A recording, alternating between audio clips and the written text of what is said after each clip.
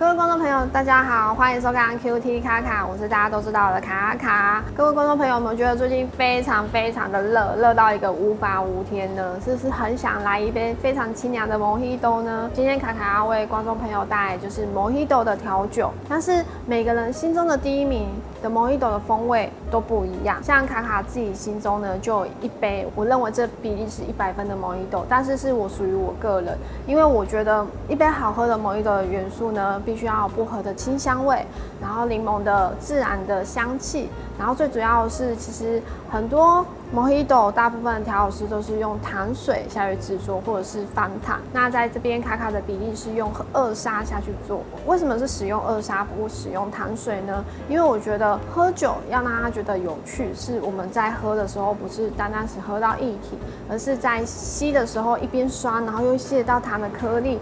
然后同时融化在嘴巴里面，那个是非常一个缤纷的口感。今天卡卡先帮大家介绍材料有白软，然后黑软跟薄荷叶。有些调酒师他会直接用新鲜的柠檬汁下去制作，然后但是卡卡这边的比例会比较倾向于用新鲜的柠檬。为什么要用新鲜的柠檬呢？因为新鲜的柠檬它的表皮其实它会有含柠檬的精油在里面，需要一些它新鲜的果皮才能去把这个风味给它呈现出来。还有我们需要的是二砂糖，二砂糖它的颗粒比较粗，那在酒里面还是液体里面，它的融呃融化性会比较慢。所以说我们在喝的同时啊，就比较不用去担心说，哎，它放在酒里面越久，它会糖很快就融化掉。其实二砂它融化的速度比白砂的速度还要来得慢，所以当我们一杯某一朵喝完的时候，其实还吸得到那种糖的颗粒，所以喝起来呢是非常舒适的。那同时呢，还是会下少许的柠檬汁去增加它的香气在里面。那它的酸度可以提高，因为其实我们要用的新鲜柠檬，它的量不用过多，我们要的只是需要它果皮上面的香气而已。因为搅导入太多的新鲜柠檬，反而会导致于这边 Mojito 里面的酸涩感会变得比较重，所以它还是会有一定的黄金比例。我们要如何顺序下我们的材料呢？首先呢，我们把柠檬角准备两周，然后切成六小块。然后丢入我们的杯中。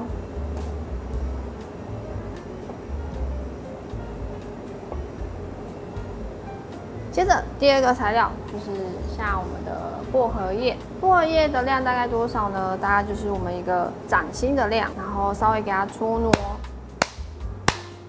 做拍打字的动作，最主要就是要把一些植物里面的细胞壁香气打开，然后我们再把它丢进去。第三个步骤呢？下砂糖，那砂糖呢？我建议可以下两个八分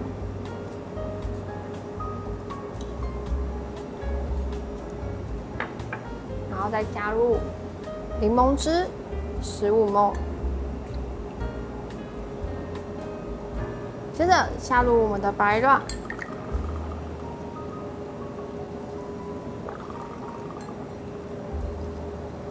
各位观众朋友，有没有发现，就是我下的顺序都是呃先柠檬角，然后薄荷叶、砂糖在一体，而不是先下一体的。因为等一下我们会加碎冰跟倒的动作。那其实一杯好喝的蒙芋豆在倒的过程是非常重要的。那我们如何让它倒得非常均匀，然后叶子的香气又出来？其实会建议叶子跟糖是。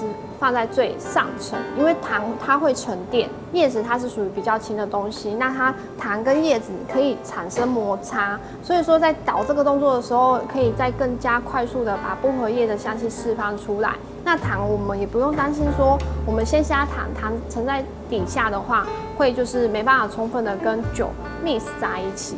所以其实下的这个动作，它是一杯 Mojito 最好喝的关键点。然后接着我们就是下碎冰。碎冰大概下有点尖尖的量，然后我们就倒的动作。那倒呢，其实它有技巧。我们下去之后，其实在杯子的半身，然后在这个地方去做充分的搅拌，但是千万不要搅太久，大概六到七下就可以了。但是要快速哦，大概一半，然后我们就做倒动作。然后我们继续的再下一些碎冰。最后面我们上面放一些黑 rum 来增加这杯酒的香气，大概下个十五沫，它只是一个点缀的效果而已。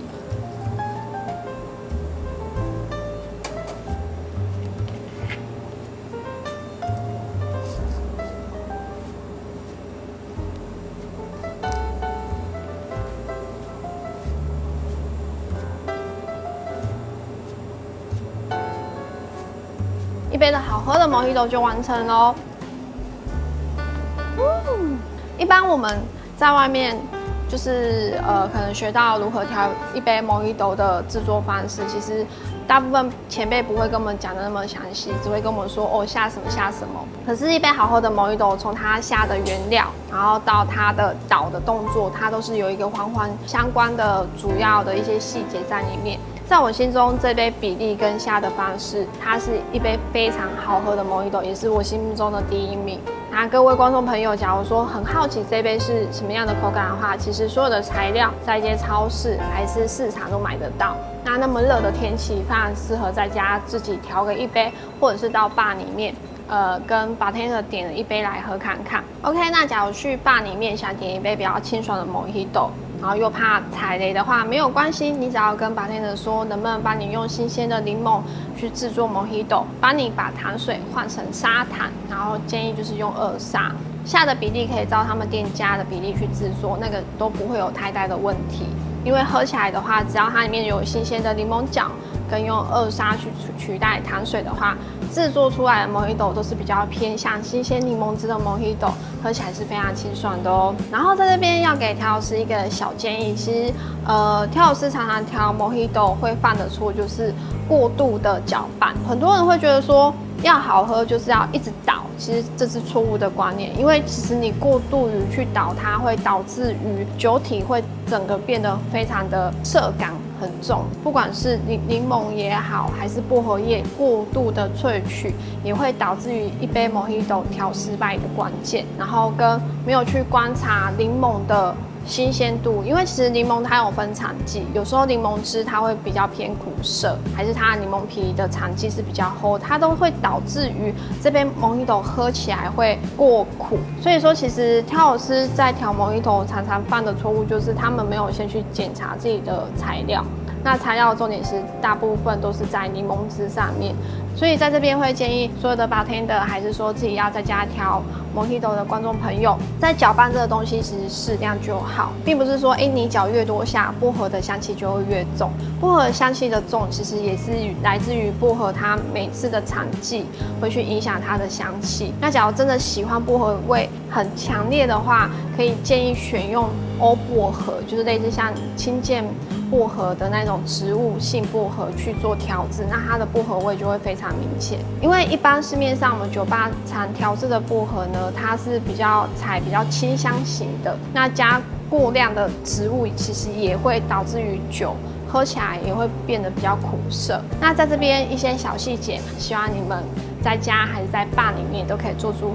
非常好喝的 Mojito 哦。那假如还有其他问题想问卡卡的，欢迎在底下留言跟我说哦。